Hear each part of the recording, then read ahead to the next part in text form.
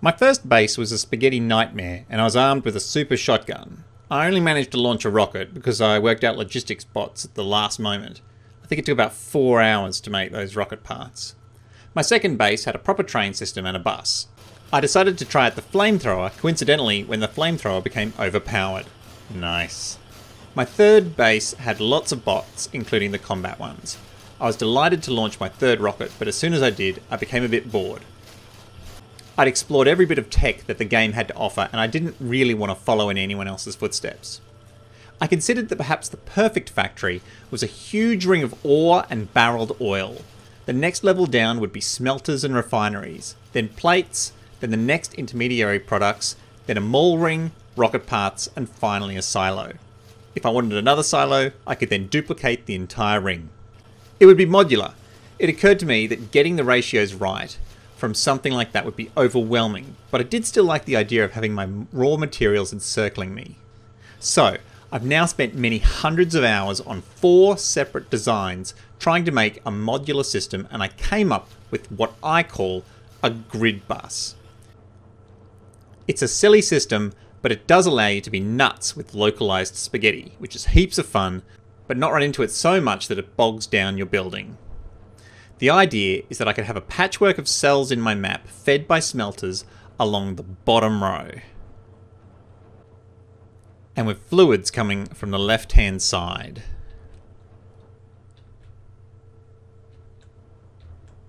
You'll notice I also have coal and stone all the way up here.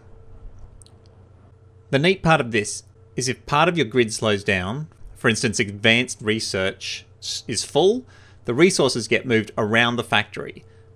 A normal bus can move unused resources further downstream, but this system can move it anywhere.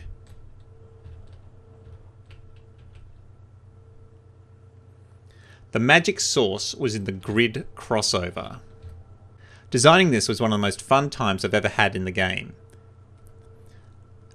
You'll notice that copper comes in here, splits in two, and goes right and left and joins into the copper coming from the north and going left and right.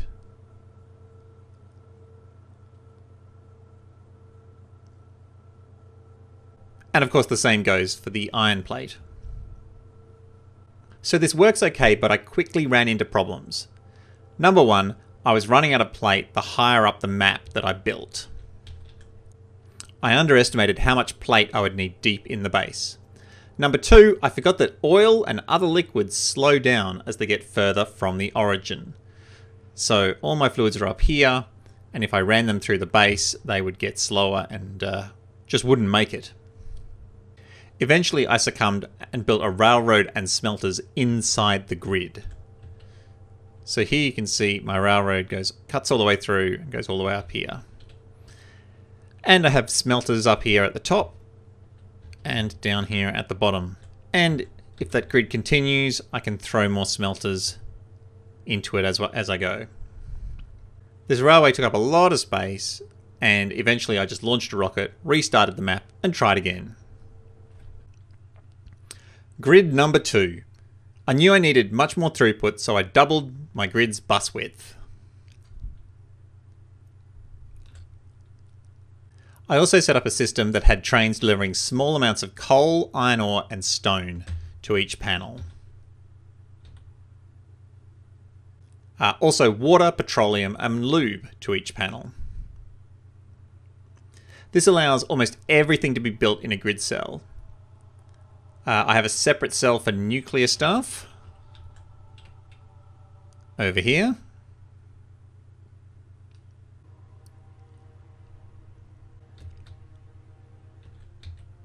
I also have a dedicated cell for fluid management.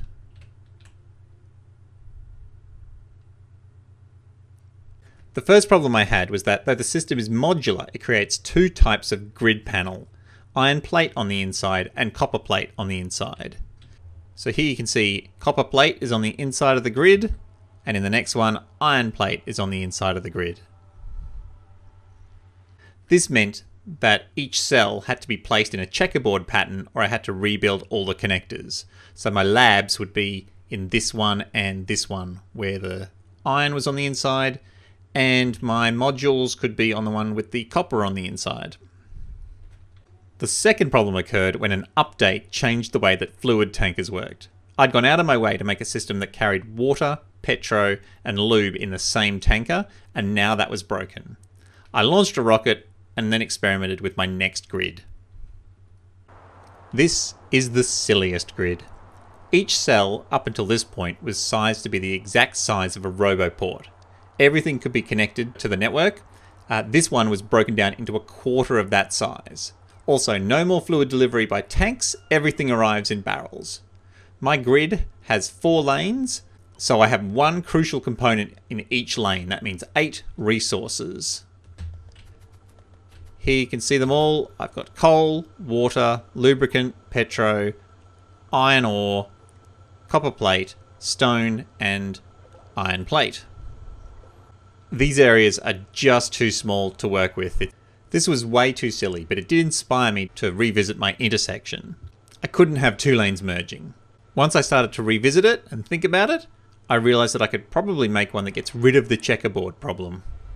Also, I got rid of the idea of barreling all my liquids because then I had to deal with getting the empty barrels back to the fluid place.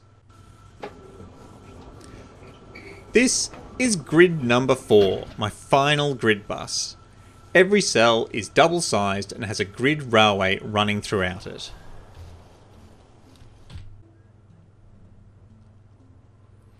Here you can see railway lines along here and my bus runs through the center of each area.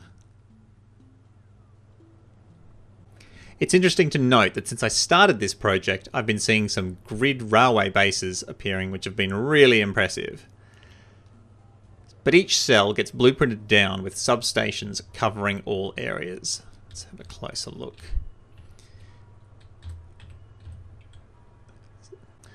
Each cell gets a radar, four roboports, and a complete electricity network. So these guys cover the entire place. I don't have to worry about setting up electricity poles. There's only one train line on each side of each cell. Uh, vertical tra train lines run north-south, so top to bottom, but not bottom to top. And horizontal lines weave back and forth, so they snake down right to left and then left to right and then right to left. This could continue on for as far as you want to go. Trains then return to the top up the side. For iron ore and copper ore, I have huge trains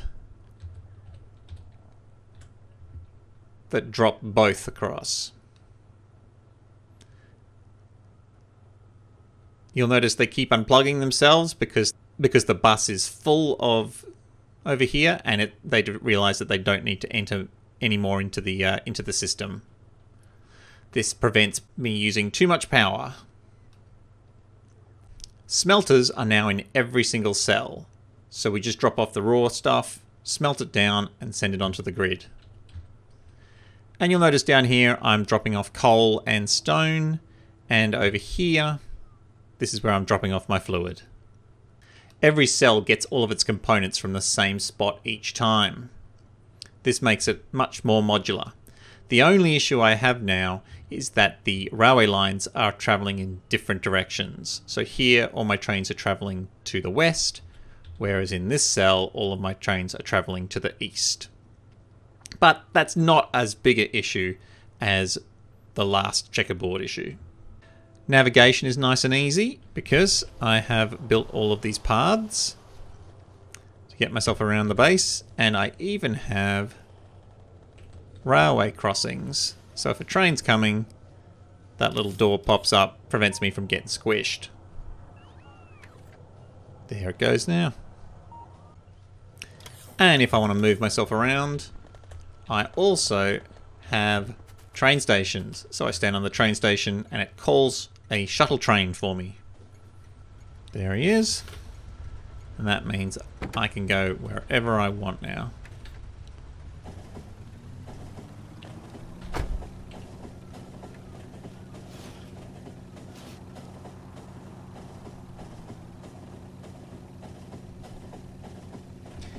The grid bus is really fun to play. Uh, you can get yourself really bound up in spaghetti and then start again with a clean cell. Spaghetti gets sandboxed. Uh, I certainly recommend giving it a go. Uh, I think my next game will be a bit more traditional though. Perhaps a nice bus.